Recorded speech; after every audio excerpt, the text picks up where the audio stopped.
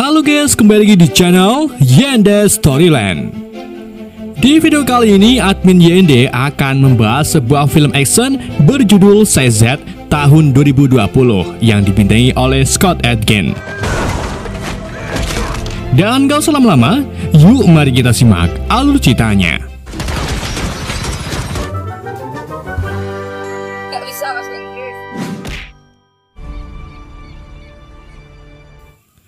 Film dimulai di sebuah rumah di pantai barat Laut Meksiko, di mana seorang pria bernama Richard sedang menyiapkan segomegono untuk sarapan putranya yaitu Taylor. Hubungan keduanya memang tak terlalu dekat semenjak istri Richard sekaligus ibunya Taylor meninggal beberapa bulan yang lalu. Taylor kini menjadi sulit diatur dan jarang ngobrol dengan sang ayah.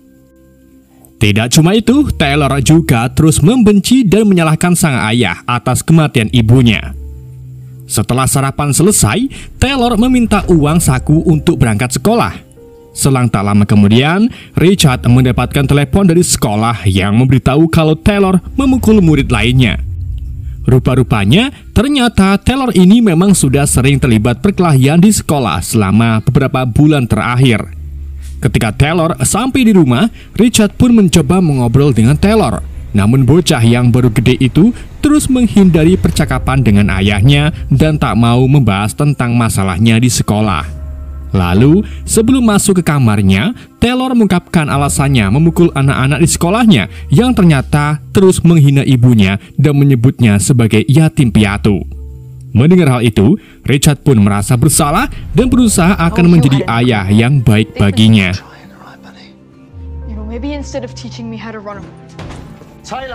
Richard kemudian melanjutkan pekerjaannya sebagai programmer.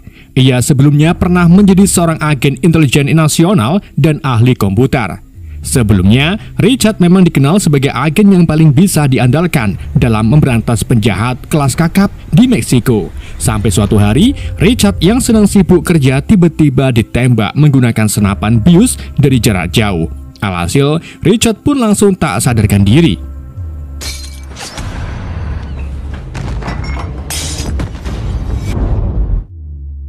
Di malam harinya, saat Richard baru bangun dari pingsannya, ia mendapatkan telepon dari seorang pria misterius. Pria itu memperkenalkan dirinya sebagai Nero, di mana Nero mengungkapkan kalau ia tahu tentang masa lalu Richard yang dulu dijuluki sebagai mesin pembunuh. Nero juga mengungkapkan kalau ia sudah menculik Taylor. Ternyata, di balik nama Nero ini merupakan nama Richard yang ia gunakan saat menjalankan misi selama menjadi agen. Pria misterius itu lalu mengirimkan video ke Richard yang menunjukkan Taylor sedang ditahan di sebuah ruangan. Tidak cuma itu, ia juga menyuruh Richard untuk menjalankan sebuah misi dan jika Richard tidak mau, maka Taylor akan dibunuh menggunakan gas beracun. Richard pun tak punya pilihan lain selain menuruti permintaan pria tersebut. Untuk membantu Richard menjalankan misinya, pria itu ternyata sudah menyiapkan beberapa senjata rancangan sekaligus amunisi. Pria tersebut juga menyiapkan mobil SUV anti peluru yang dilengkapi dengan GPS lokasi yang akan dikunjungi Richard. Tak hanya itu, ia juga menyiapkan kamera untuk melihat aksi bertarung Richard secara langsung. Richard pun bergegas pergi ke tempat yang sudah ditunjukkan meskipun ia tak tahu apa misi yang harus ia lakukan. Di tengah perjalanannya, Richard mendapatkan kesempatan untuk berkomunikasi dengan Taylor dan mencoba memenangkan menenangkan putranya itu. Ketika panggilannya terputus, pria misterius itu mengatakan ia bisa menjamin keselamatan Taylor jika Richard melakukan apa yang dimintanya. Setibanya di tempat tujuan, Richard diarahkan ke sebuah hotel untuk membunuh dua kartel narkoba yang sedang mengadakan pertemuan. Dua orang itu adalah kartel Rosa dan Garza. Scene kemudian berpindah ke pria misterius yang menculik Taylor. Pria itu ternyata pemimpin kartel narkoba yang bernama Mezamo. Tujuannya itu tak lain lagi adalah untuk melenyapkan kartel saingannya yang saat ini mendominasi jaringan kartel narkoba di Meksiko. Mezamo sengaja menculik Taylor untuk menggunakan keahlian Richard agar membunuh semua saingannya tanpa mengotori tangannya. Mezamo lalu menginstruksikan Richard untuk masuk ke hotel dan mengeksekusi semua orang di sana. Richard pun memasuki ruangan demi ruangan untuk membunuh anggota kartel yang tersisa.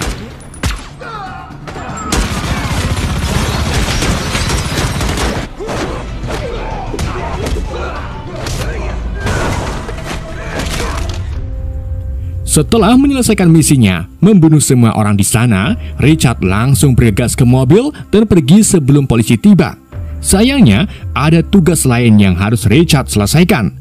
Mezamo kemudian mengirim titik koordinat baru dan mintanya menyelesaikan misi yang sama di lokasi tersebut. Tampaknya, Mezamo sangat menikmati permainan yang dilakukan oleh Richard dan menikmatinya dengan melihat melalui kamera bersama anak buahnya serta istrinya yaitu Alonza. Tak lama kemudian datanglah rekan Mezamo bernama Donovan yang merupakan ketua dari kartel lain. Kedatangan Donovan ini untuk menanyakan Mezamo tentang rencana mereka. Ternyata yang memberi tentang kemampuan Richard adalah Donovan dan ia juga memberi ide agar menggunakan Richard untuk menjalankan misi tersebut.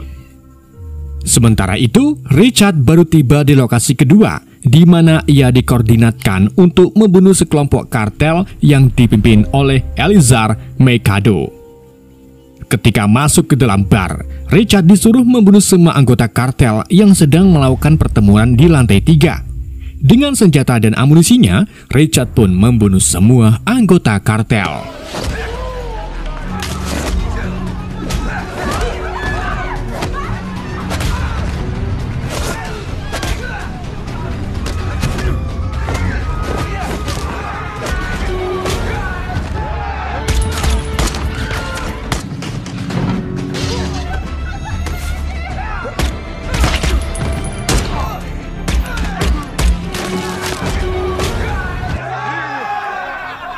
Ia lalu lanjut ke ruangan tempat Eliazar berada dan langsung membunuhnya dengan disaksikan oleh Mezamo serta lainnya melalui kamera pengawas. I don't know. You tell me. Mindless fuck! Couldn't kill me.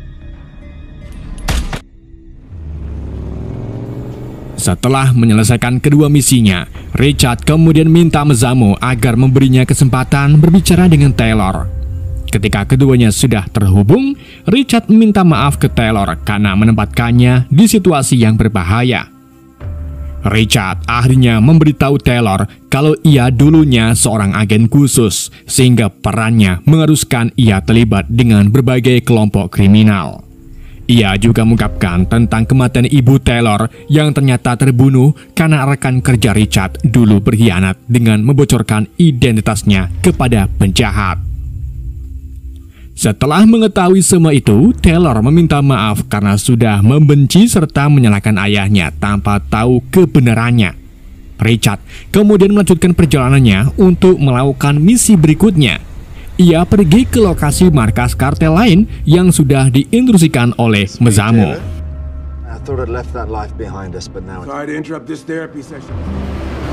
Singkat cerita, Keesokan harinya, Donovan kembali menemui Mezamo untuk memerintahkan agar lebih berhati-hati dan bertindak cepat setelah misi Richard selesai. Hal itu karena ia khawatir kalau Richard akan membunuh mereka setelah menyelesaikan misinya. Tapi Mezamo terlihat santai karena mereka menyekap Taylor. Tentunya Richard juga tidak akan melakukan hal yang mengancam kehidupan putranya. Sementara itu, Taylor mencoba membebaskan diri dari ikatan tali perekat menggunakan logam dan berhasil membebaskan dirinya. Di samping itu, Mezamo serta anak buahnya masih menikmati tontonan selanjutnya yang akan dilakukan oleh Richard di ruang tamunya. Ia bahkan menyuruh anak buahnya untuk bersorak seolah-olah menyemangati Richard agar misi berikutnya berjalan lancar. Di saat yang sama, salah satu pemimpin kartel narkoba terbesar di Meksiko yaitu Griego menerima informasi dari kaki tangannya kalau ada seorang pria yang sudah membantai tiga kartel narkoba. Griego pun menginstruksikan anak buahnya agar selalu waspada karena kemungkinan mereka akan menjadi sasaran selanjutnya. Richard kemudian sampai di kartel Griego Tanpa basa-basi, ia pun lalu langsung melakukan serangan menggunakan senapan serta beberapa granat.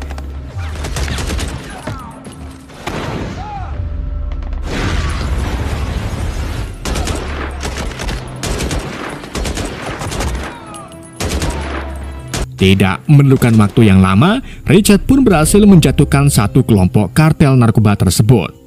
Sampai ia tertembak oleh Griego sendiri yang juga mematikan kamera di tubuh Richard.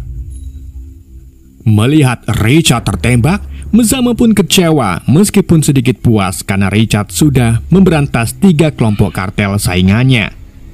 Sedang Donovan merasa lega karena Richard sudah tiada, sehingga tak ada lagi yang mengancam keselamatannya. Sebaliknya, dengan Mezamo yang ingin menghormati Richard karena sudah bertarung sendiri melawan musuh-musuhnya. Alhasil, Mezamo pun mengirim anak buahnya untuk menyerang markas Griego dan membalas kematian Richard.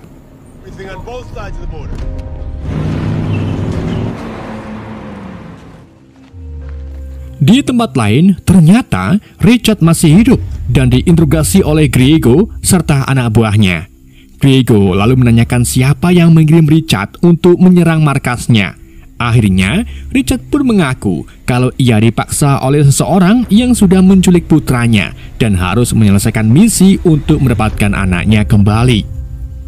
Richard juga mengaku kalau ia tidak tahu identitas si penculik dan hanya menyuruhnya melakukan semua ini. Tetapi yang Richard ingat, orang itu selalu berbicara banyak tentang kepercayaannya. Mendengar hal ini, Griego pun sadar siapa dalang di balik semua ini yang tak lain lagi adalah Mezamo, si pemimpin kartel narkoba paling berpengaruh yang sudah menjadi saingannya selama bertahun-tahun. Richard pun tampak familiar dengan nama Mezamo dan menanyakan Griego di mana Mezamo tinggal. Tapi, meskipun Griego sudah membagikan, membagikan informasi tentang tempat tinggal Mezamo, akan tetapi ia tak ingin melepaskan Richard dan mencoba untuk mengeksekusinya. Untungnya, sebelum Griego menarik pelatuknya, para anggota Mezamo tiba tepat waktu di tempat kejadian dan membuat kekacauan besar di markas Griego. Richard pun mengambil kesempatan itu untuk melakukan perlawanan dan melepaskan borgolnya, kemudian melarikan diri. Ia juga berhasil mengalahkan anak buah Griego dan langsung membunuh Griego.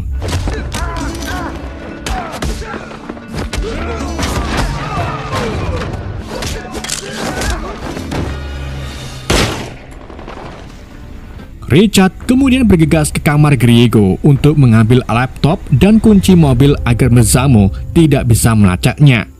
Di samping itu, Donovan masih belum puas karena Taylor masih dibiarkan hidup. Ia ingin mengeksekusi Taylor secara langsung sebelum sangat terlambat. Awalnya, Mezamo melarang Donovan dan menolak memberitahu tempat Taylor berada. Tapi Donovan malah mengancam akan menggagalkan bisnis bisnisnya yang akhirnya membuat Mezamo mengalah dan menyerahkan kunci garasi tempat Taylor disekap. So what's next? But if you're gonna start killing children, Sementara itu, Richard sedang melacak lokasi markas Bezamo menggunakan laptop yang ia curi dari Grego. Tak memerlukan waktu yang lama, Richard langsung menemukannya. Ia pun segera pergi ke tempat Mezamo untuk menyelamatkan putranya. Di waktu yang sama, Donovan dan anak buahnya membuka garasi mobil tempat Taylor ditahan. Mereka lalu mengaliri tempat itu dengan gas beracun selama beberapa menit. Setelah itu, Donovan kemudian menyuruh anak buahnya membuka pintu mobil untuk memastikan Taylor sudah mati. Tapi tak disangka, saat dibuka, mereka tak menemukan Taylor di tempat itu. Donovan pun langsung seuzon dengan berpikir kalau Richard sudah mengambil Taylor lebih dulu. Tak lama kemudian, Donovan pun memberitahu Mezamo kalau Richard sudah menjemput Taylor. Mezamo akhirnya mengaku kalau ia menyembunyikan Taylor di tempat lain dan bukan di garasi mobil.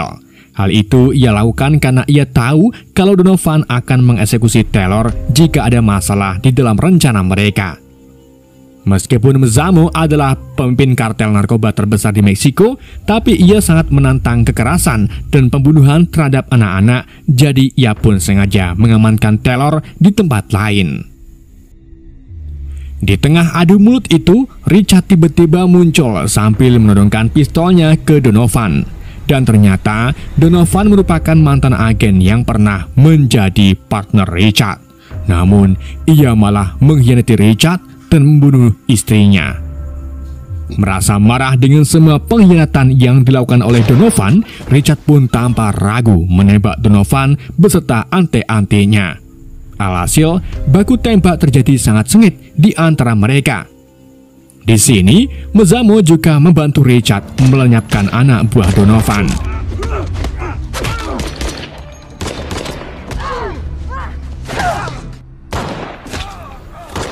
Saat semua amunisinya habis, Richard terpaksa melawan salah satu anak buah Donovan tanpa menggunakan senjata.